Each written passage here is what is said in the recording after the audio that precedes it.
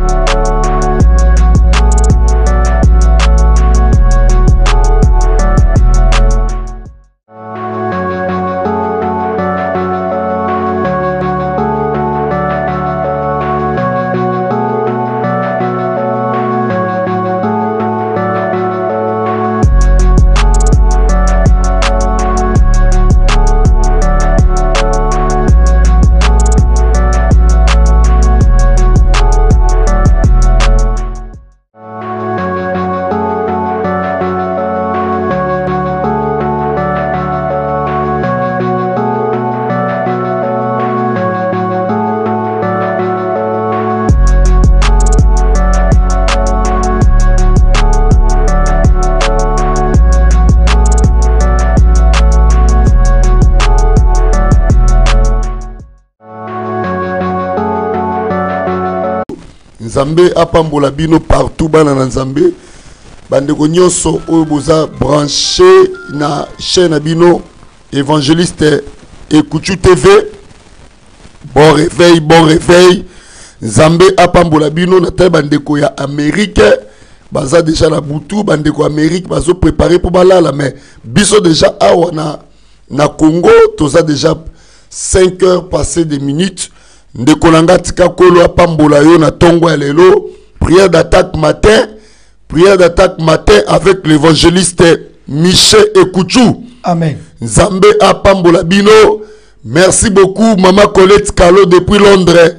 Mama Colette Kalo depuis Londres Nzambe apambola yo. Merci na encouragement ya Patricia Julienne. Merci beaucoup na encouragement que Dieu vous bénisse.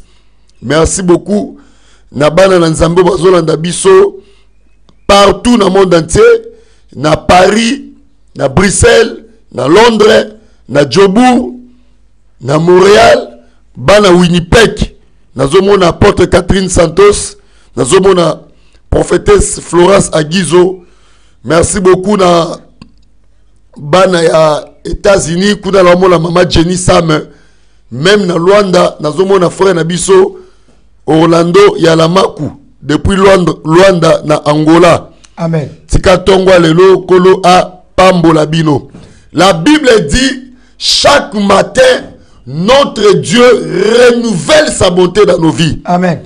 Il renouvelle sa bonté dans nos vies chaque matin. Mm. tolalaka lokola bakufi toyebaka te soki tokolamuka me kolamuka ezalaka bolingo na nzambe Amen. komona ntongo ezalaka bolingo na nzambe Amen. yango nde pouvoira ke vi ya moto esimbami na maboko ya nzambe Amen.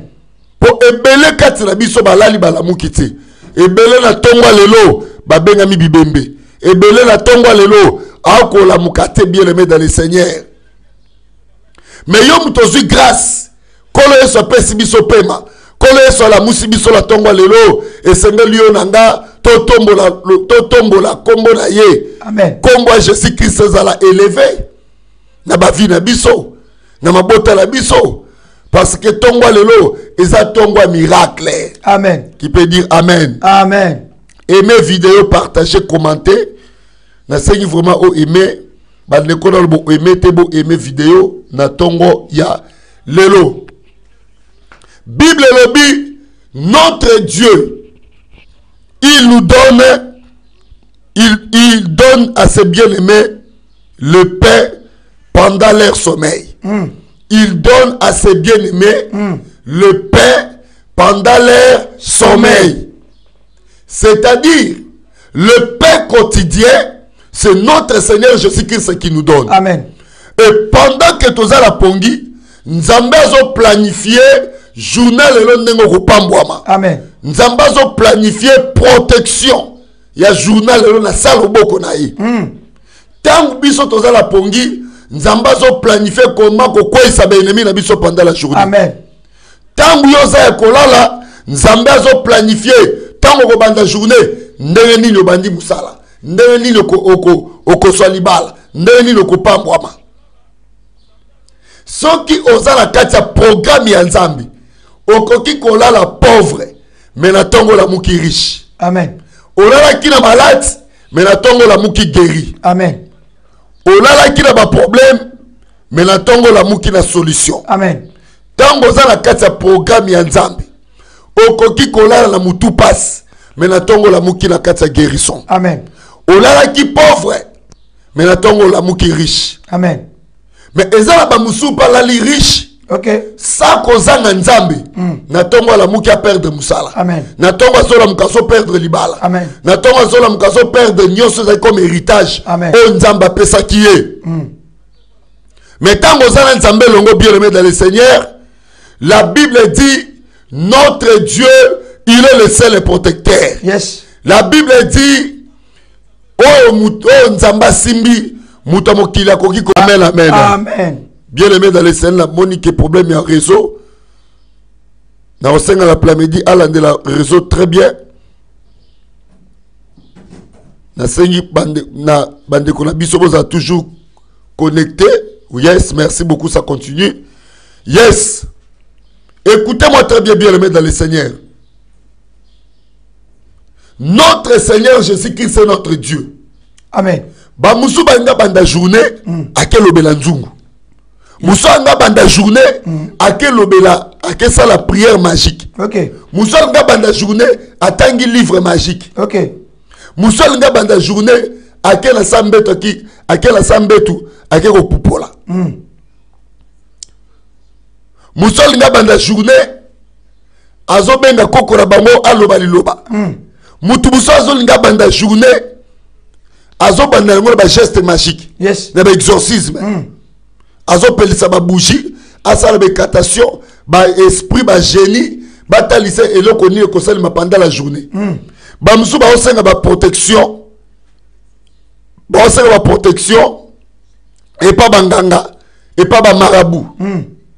mosu azolinga abanda journée mpo akende oteka bala bafere akende mosala okay. azolobela banzungu ya famille bapesi ye singa alobela yango mais bien aimé dans le seigneur yo na nga va tobanda journée tokotikaka yango na maboko ya nani ya jésus christ nzambe nde azwa aprendre soin ya journée na biso amen bien aimé bible elobi si dieu ne protège pas mm. si l'éternel dieu ne protège pas mm. celui qui protège protège en fait. Amen. Celui qui garde, garde en fait. Amen. Véritable protection ezalaka na maboko ya jésus kristo ya nazareth amen amen amen amen tika nzambe apambola bino na ntongo ya lelo amen bien aimé tozo parle toujours sur la délivrance nzambe apambola bino na ntongo ya lelo amen prière d'attaque bien aimé fo boyebake ezalaka prière moko ya révélation nzambe apesi biso yango mpo ememela biso délivrance Amen. parce que il y a beaucoup des enfants de dieu baza ya kokangama mm. baza bloqué baza fermé mais prière eza na capacité ya kofungola vie na yo esika bandoki batiaki yo Amen. esika babomba yo spirituellement Amen. esika babomba vie na yo babomba lipamboli na yo Amen. ntango oza mutu ya prière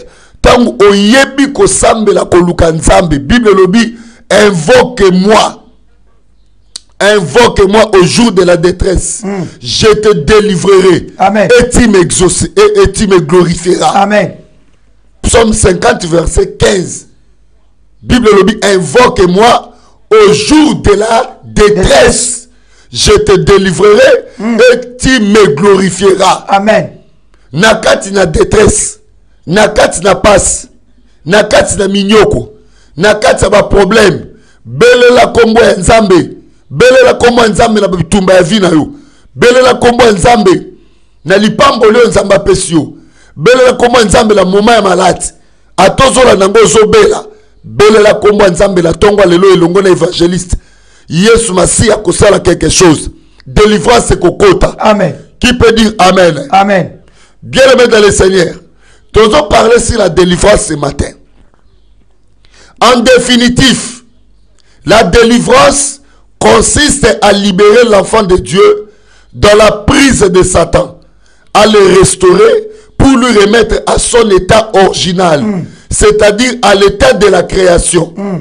Tout dans le livre de Genèse, chapitre 1er verset 27 livre ya genèse chapitre 1er verset 27 bien aimé dans le seigneur nakosenga na paster papi luyundula toza na ye awa na studio na prière d'attaque matin akotangela bana nzambe livre ya genèse chapitre 1er verset 27 à vous pasteur papi luyundula totangi na mokanda na genèse chapitre 1er na verset nango 27 amen totangi na kombo na yesu amen dieu créa l'homme à son image dieu créa l'homme à son image et il a créé à l'image à son image selon ses ressemblances mais bien aimé image ya nzambe ekoma kolongola bavi na biso ndenge nini na moma oyo satan akotaka mpo bible elobi na jean 10 10 Le diable vient pour détruire, pour égorger, Amen. pour voler. Mm. Mais le Fils de l'homme vient pour donner la vie à ses brebis. Biso toza ba pate na Nzambe. Yesu Masiya ayaki mpo apesa biso bomoi. Mpe bomoi oyo Yesu ayaki kopesa biso ezala eza ya abondance. Mais lelo oyo bana na Nzambe ba image oyo Nzambe akreela biso elongwe mpo na nini parce que il y a la présence ya monde de ténèbres nde ezokota na mabota mpe na bavia bana na nzambe amen pourquoi napesi verset ya jean 10 10 mpo diable soki akoti na kati ya vi ya moto adetruisaka eloko nyonso oyo akuti na kati ya vi ya moto oyo nzambe atya amen bandoki bato ya misala mabe basalemi badetruisaka yango amen yango tolobi bo la délivrance c'est quoi c'est une opération qui consiste à briser les chaînes les liens de l'esclavage la servitude amen donc délivrance ezali opération oyo eza kokonsiste kobimisa mutu kobrise bachaîne oyo bato ya misala mabe bakanga biso bakanga bana na nzambe kobimisa motu na kati ya esclavage na kati ya servitude omoni bana na nzambe ebele malgré azosambela mais aza na vie ya servitude vie ya servitude ya famille servitude ya masumu okay. servitude ya pauvreté Amen. servitude ya maladie mm. servitude ya système de vie familiale Amen. na famille na bino bato babalaka te na famille na bino bato babongaka te bato bazwaka misala te bato bapambwamaka te na famille na bino bato basombaka mapangu te bato basisaka basisaka baklasi te na famille na bino bato baevoluaka te boza na famille moko ya, po, ya donc totemi na bino eza pauvreté mm. famille mobimba bato ya esengo bazalaka te mm. tala basi kitoko tala mibali bato mayele mosala ezalaka te mabala ezalaka te stabilité ezalaka te famille mobimba boza na kati ya balien ya baparent papa azalaka ndoki bino mpe bana bokoyi bandoki mm. mama azalaka moto ya ndumba azalaka mwasi ya ndumba bino mpe bana bokoma kosala kindumba mm. kindumba moko ya makasi exagere mm. bokipaka te mm. mwana moke mokolo boza na boza ata na bakategori ya moto boyolinga te nyonso kolinga mpo na nini liaison impudicité oyo evanda na kati ya famille kote ya bomama ekiteli mpe bana ya basi ya famille wana amen bokomi na kati ya captivité bokoti na kati ya servitude ya vie wana bien aimé malgré moko otala oba ah age na nga eza koavance stabilité ezala te koma yo moko ozo mitala obi mais pourquoi vie na nga ya pas l'avancement pourquoi bana nazobota bana bazo évoluer te bana mitu makasi bana bakoti na vie ya masanga bana bakoti na vie ya loyenge na kati ya vie ya kindumba na kati ya komela badroge na kati ya komela badiamba mm. bana bakoti na vie ya bawiski na bavie ya lotoko na vie ya masanga bana bakoti na vie ya babwati de nuit bana baevoluaka te mobali kutu na bala mawa mingi yes. mobali na bala mawa mingi eza na basi mosusu baza na lien il faut babalaka mibali ya bapauvre amen ezali na bafamille ebele yes. mwasi kitoko mpenza otali me mobali ya malonga te otali mwasi oyo na mobali aza na ye ezobalana te mm. ezali balie ya famille tala nanu vi mama na bino azalaki na yango tala nanu vi papa na bino azalaki na yango estce ozosala rediffusion na vie na bango te yo na nga esengeli tosala expérience personnelle na jésus christ amen oyo baboti basala te yo na nga tosala yango oyo mama na bino asala te yo osala yango na nkombo ya jésus christ c'est-à-dire ya malamu yes. ya mabe te me ya malamu soki mama voyageaka te yo na nkombo ya jésus christ ovoyage soki papa asomba lupangu te yo na nkombo ya jésus christ osala nini osomba lupangu mais tala famille mobimba boza na kati ya esclavage bamema bino na bowumbu ya bato nyonso na kati ya famille wana babelaka kaka maladi moko maladi ya sikre maladi ya estoma maladi ozomona babiso wana maladi ya liboma fami mobimba babelaka maladi ya misu fami mobimba maladi ya sikre mm. fami mobimba maladi ya pauvrete mm. bato babongaka te mm. bato babalaka te okay. famille mobimba tala système de vie boza na yango moto akotyela motema aza te yaya yo nde moto olanda prière d'attaque yo nde ofungola famille amen parce que topresente bino le nom qui Le... nous amène la délivrance amen le nom de jésus christ amen nkombo wana nde ememaka délivrance nkombo wana nde echangaka bavie ya bato kipe dire amen amen moto mosusu asambela sambela sambela sambeli nzambe ayoki mawa apesi ye lipamboli mais aussi longtemps aza na balien ya famille lipamboli oyo ekozala kombati na kati ya lien oyo eza kati na ye yango ntango tosambela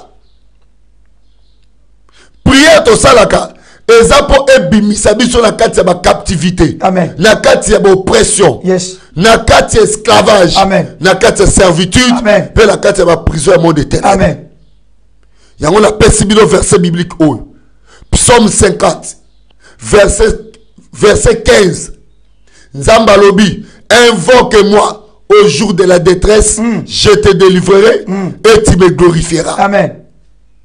delivrance na yo bien aime ekoya na nkombo ya jésus christ amen ntango ozobelela nzambe yesu kota likambo na nga yesu kangola nga tala journée yango ebandi nabandi nalalaki na maladi yesu kota likambo na nga longola maladi kati na nga longola kufa kati na nga longola kindoki kati na nga longola tenebre kati na nga yesu akodelivre yo amen bien aime atala mosika bible elobi na, na jérémie 23 23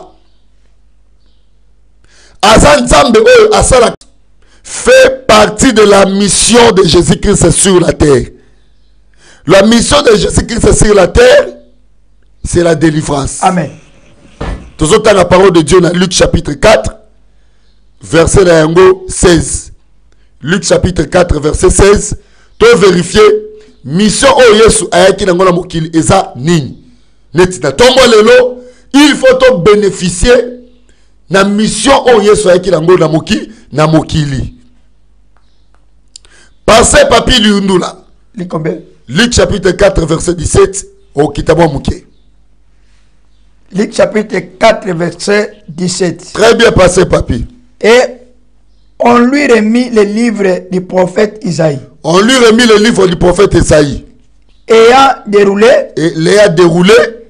Il a trouvé l'endroit où il est écrit. Il trouva l'endroit où il est écrit. L'esprit du Seigneur est sur moi. L'esprit du Seigneur est sur moi. Parce que il m'a oué. Parce que il m'a oué pour annoncer une bonne nouvelle. Pour annoncer une bonne nouvelle aux, pauvres. Bah, pour annoncer une bonne nouvelle aux, pauvres.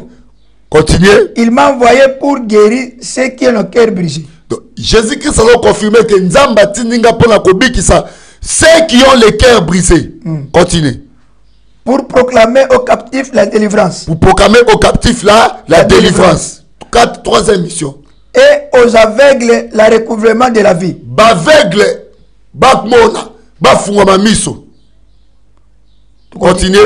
Pour envoyer libre aux, aux les opprimés. Les opprimés. Pour envoyer libre les opprimés. Continuez. Pour publier une année de grâce du Seigneur. Pour publier une année de grâce du, Seigneur. tobeteli jésus kristo na maboko makasi bien aimé bible elobi bien yesu abandi kopresente mission na ye ayelaki yango na mokili alobi na ye mpo na koannonce bonne nouvelle na bapauvre yango biblia elobi ere les pauvres car le royaume de cieux est à eux amen ere les pauvres car le royaume de cieux est à eux mm. yango yesu alobi na ye koannonce bonne nouvelle na bapauvre nabikisa baoyo baza bacœur brise bato ebele bien aime bakóma mitema ekóma brise famille Mon bah, motema brisé abrise motema ça brisé motema motema koma briser. mais je suis qu'il est venu pour ceux qui ont le cœur brisé je, suis, venu rendre libre les opprimés délivrer les captifs hmm.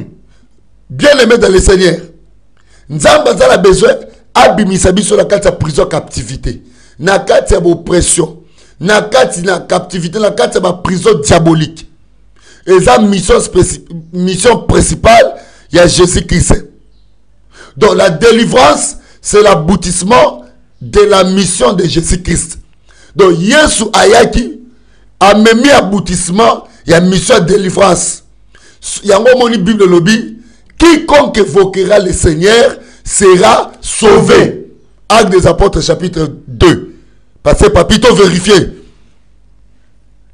acte des apôtres chapitre 2 verset 21 yoka eloko bible elobi donc moto akobelela yesu masiya ye wana nde akozala sauve akozala delivre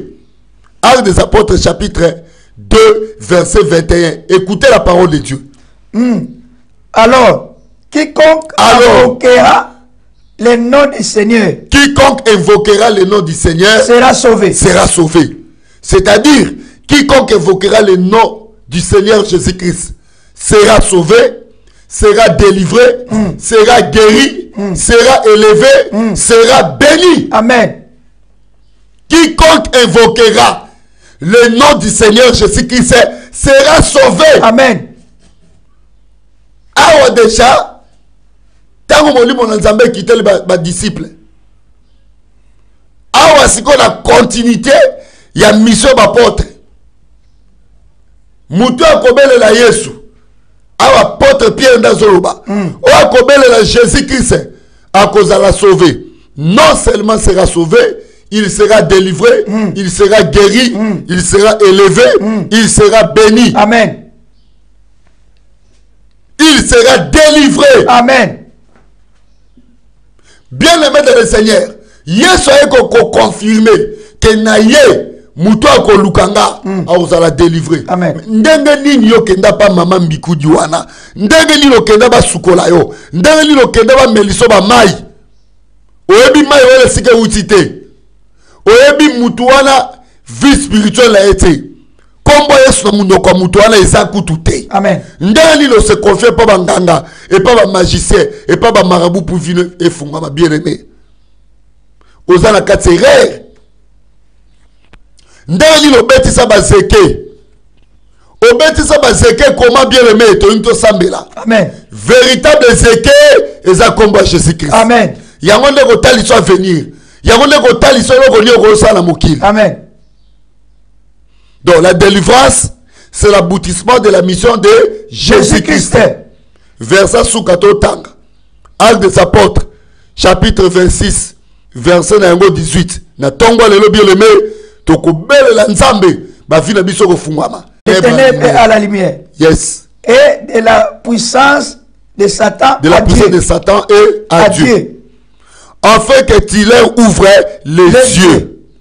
eloko ya liboso yesu aye omona ali 4 verset 17 alobi naye kofungola miso ya baaveugle mm. bolanda nga très bien na jean chapitre 8 verset 40 a yesu alobi naye na mokili naye koporte jugement naye kofungola miso ya bato bamonaka te mm. epuis naye kosipa miso ya bato bamonaka mm. donc jugement yesu ndenge na mokili eza juste eza mpo na koaveugle bandoki nyonso bamonaka biso na ndenge ya butu na miso ya butu oyo bamonaka lipamboli bamonaka avenir bamonaka sante bamonaka lipamboli oyo bamona makambo na yo yesu aye mpo aveugle bango yesu aye kofungola yo miso yo moto omonaka te spirituellement mm. miso lo efungwama omona gloire ya nani ya nzambe jean chapitre 8 plutôt jean chapitre 9 verset 40 Jean chapitre 9 verset 40. Siko en accord ya Actes des Apôtres 26 28 Yesu alobi nini? Na ye kofungola miso ba aveugle. kobimisa bino na puissance ya ténèbre mm. na puissance ya satan okay. namema bino na, na royaume ya nzambe amen ozomona ke mission yesu aye nango eza seulement ya délivrance ya kobimisa bana na nzambe baoyo bazali kokangama na kati ya molili ya kindoki baoyo bazali kokangama na kati ya puissance ya tenebre baoyo bazali kokangama na molili ya famille baoyo bazali kokangama na kati ya aveuglement yesu afungola bango miso yaya journée nde ezobanda miso ezofungwama yo okomona lipamboli na yo okomona guérison okomona elevation okomona baouverture journée na yo nde ezobanda ndenge ozobanda yango na yesu omona délivrance me yo ozolinga obanda journée ozobenga nganga hmm. ozobenga ndoki hmm. ozobenga noko na famille hmm. akufa esika azali yo fo banda journée na jésus christ obanda journée na jésus christ amen amen bien lobe tolingi tosambela amen amen amen tolingi tosambela ntongo lelo yesu masiya apambola yo ntongo lelo eza ntongo ya miracle amen amen amen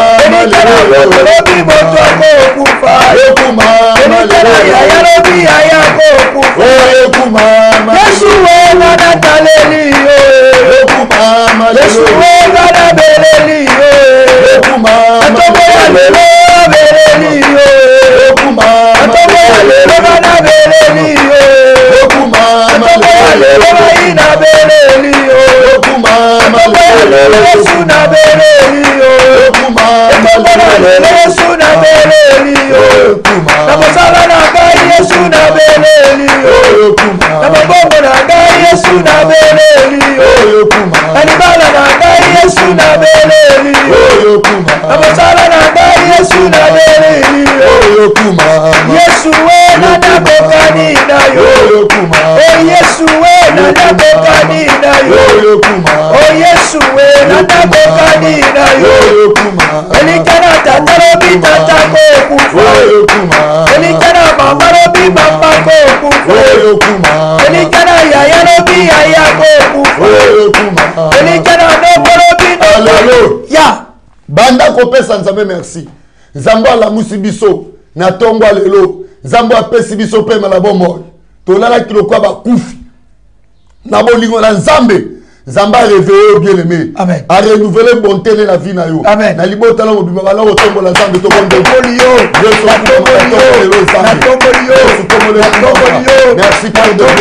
pona pema na bomonatongoa lelo zambe merci pona pema merci pona vie merci pona sante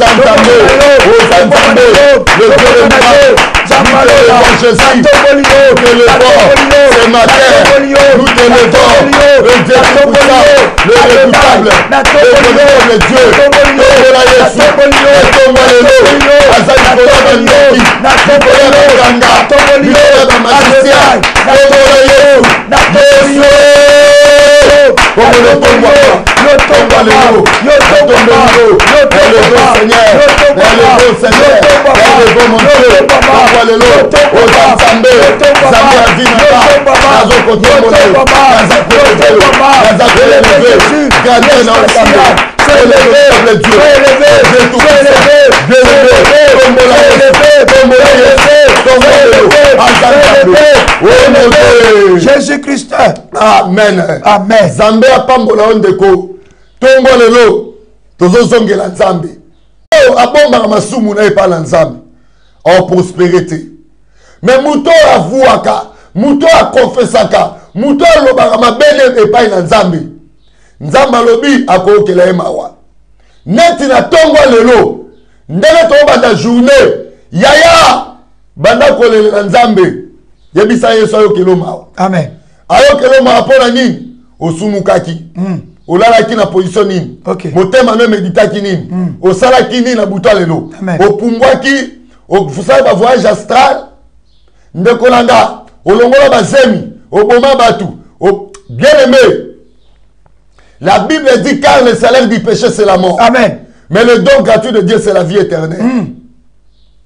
ndeko na kati na nkolo ozosenga mawa na nzambe na ntongo ya lelo mawa na nzambe ekita likolo ya vi na yo mawa na nzambe ekita na ntongo ya lelo yesu ayokelo mawa na faso olalaki mm.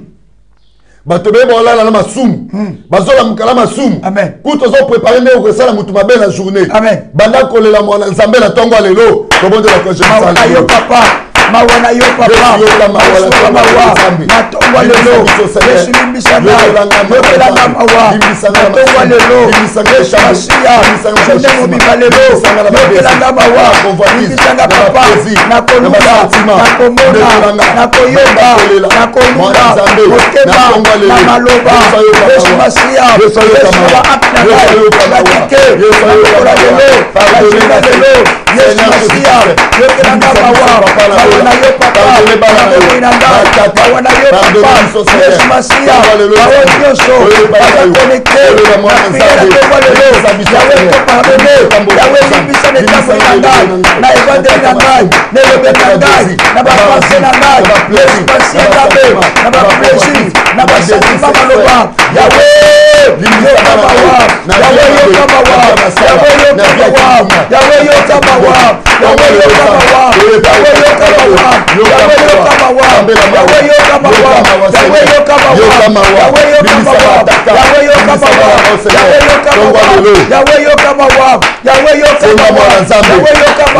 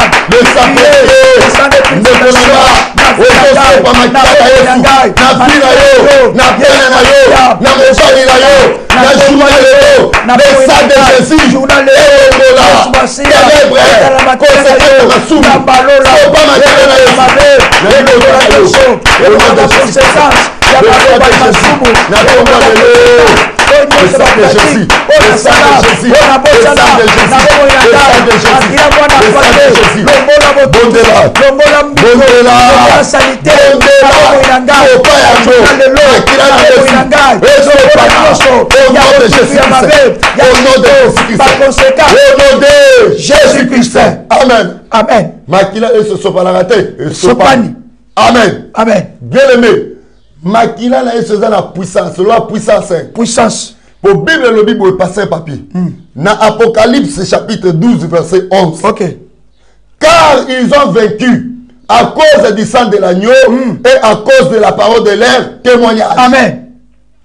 Makila na Yesu. longola semasi oyo nyonso monguna atyaki na vi na ngai na buta lelo amen longola semasi nyonso babwakaki na ndako na ngai na buta lelo amen babwaki na biwa mobali na yo mm. na basanta bana na yo amen na vi na yo moko papa na vi na yo moko mama okay. osenga makila ya yesu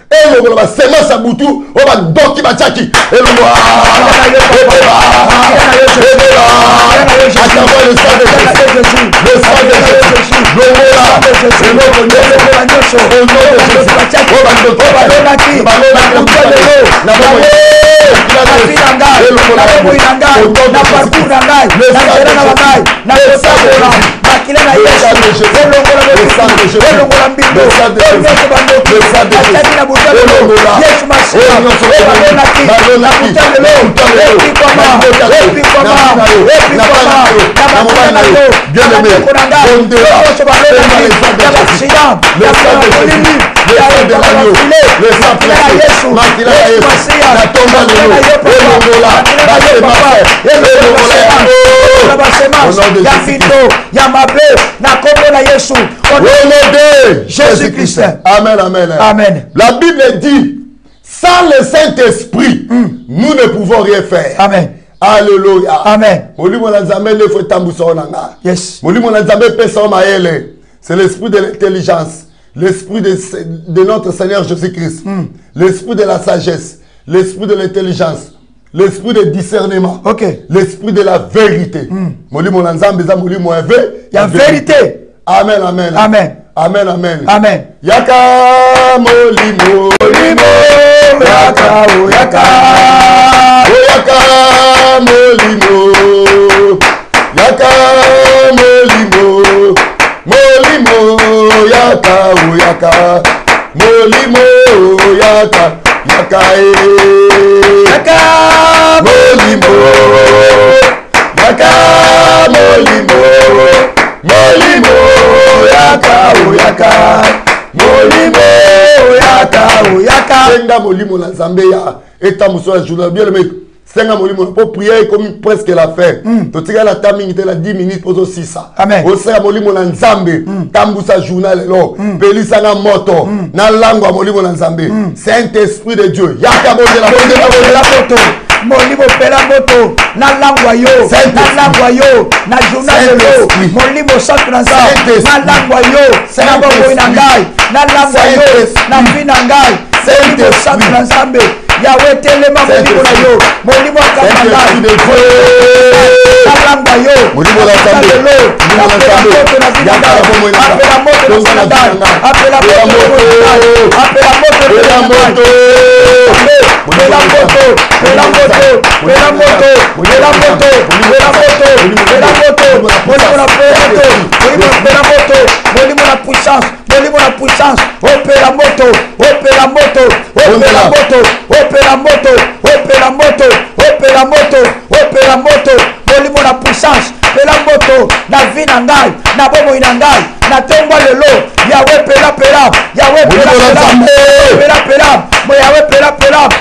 molimo na yo apela mboto na vi na ngai na bomoi na ngai yesu masiya yesu tongwa lelo yawe na nzambe alola natambola na moto ya puissance olode jésus christ amen amen yoka bielome toza koatake prière ekoyeke presque na fin amen amen la bible dit ceci chaque matin notre dieu mm. anéantit les programmes de méchants amen ntongo nyonso nzambe abebisaka baprograme ya banani ya bamecha ya bandoki hmm.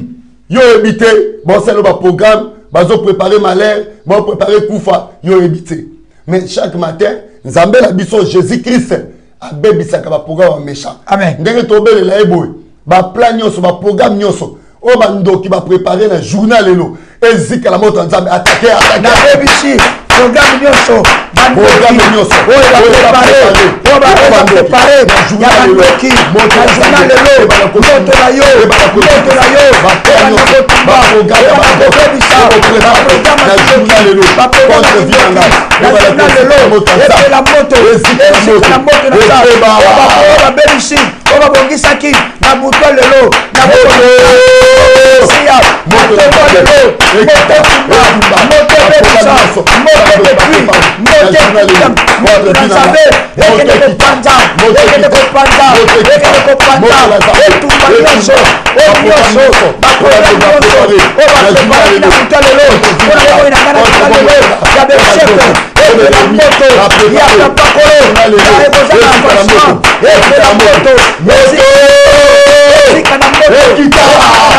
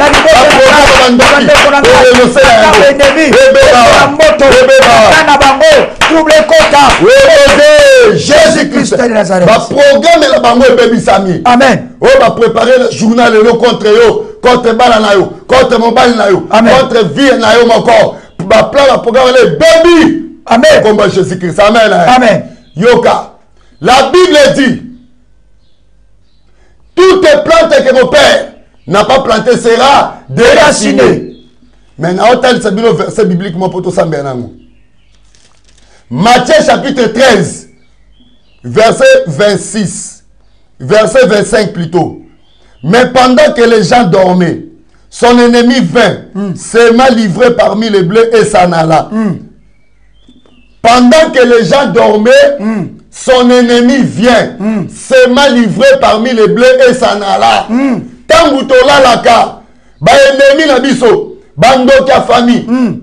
baoyo bazalaka contre vie na yo yes. bayaka koseme bayaka koseme ivre bayaka koseme semence ya ténèbre mm. batiaka ya bango na ndenge ya mabe na bavi na biso amen mpo edetruit journée mpo emema kufa emema maladi moto na nzambe na ntongo ya lelo mm. eloko nyonso basemaki na butu ya lelo na vi na nga ezikela moto basema na ndakobasema na ndakobasema na ndako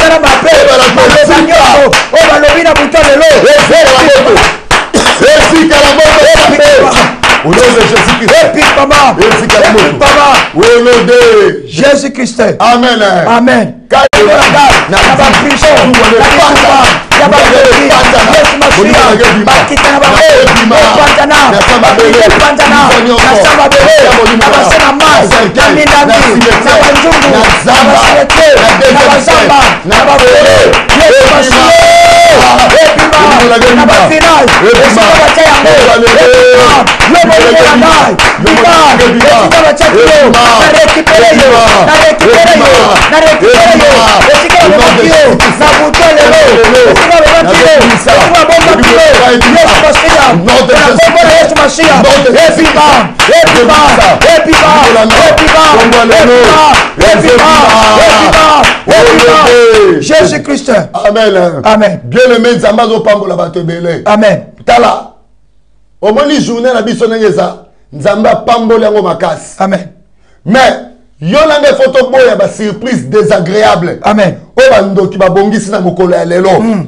basurprise désagréable eza biloko ya mabe oyo oyo torankotaka tokanaki te tomona yango amen bevelema diabolique oyo yo na ngai tokanaka te journée ebandi yo oza kosatande ozwa mosala me oyoka telefone eleli alo tata mwasi kuna na village na ba congo na kinzau tata mwasi kuna na kolofuma na ba congo tata mwasi kuna na nini na nzanza tata mwasi kuna na nkamuna na ba congo akufi mm.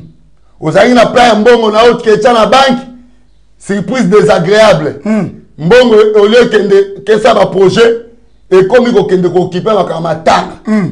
loba je ne suis pas d'accord je ne suis pas d'accord surprise nyonso bandoki baprépare na journal lelo contre vie na nga contre ndako na nga esalema te esalema te ekokisama te na bongo na ngai na vi na ngai nyonso liwa oyo baprepare espasria ya bakisa ya bituka ya bato yesu na maboko bandoki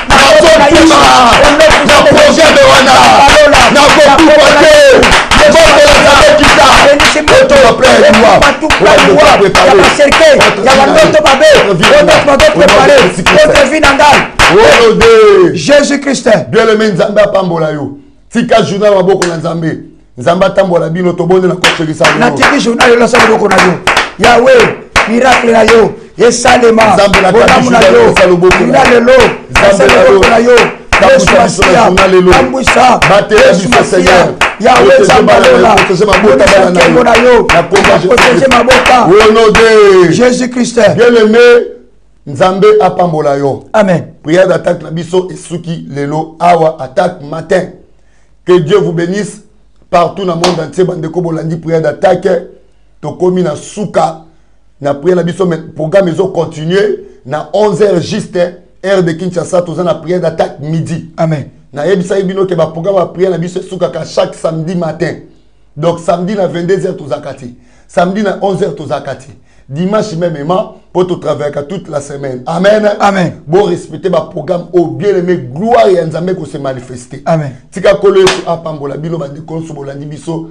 partout na monde entier sans oublier mama colette calo na londres mama na biso eh, bandeko na biso jetu mangala na paris sans oublier six ya motuke mama mosekala kati ya paris nzambe apambolo makasi mayunga bisala merci beaucoup na la nation puissante évangéliste kati munga merci na frère na biso na luanda orlando que dieu vous bénisse fani mapasa nzambe apambola bino nyonso bandeko bozwana na prière d'attaque matin marie claire kabwika merci beaucoup boza ebele marie claire kabwika merci beaucoup en tout cas nzambe na nga kolo yesu apambola bino amona bino na tongo ya lelo sans oublier notre frère hmm, c'est mon petit que j'aime beaucoup c'est un futur un grand homme de dieu na suisse frère na biso alex tokosi que dieu vous bénisse alex nzambe amatiso mpe apambola yo soki kolo yesu azongi te na 11 heures toza na bino attaque midi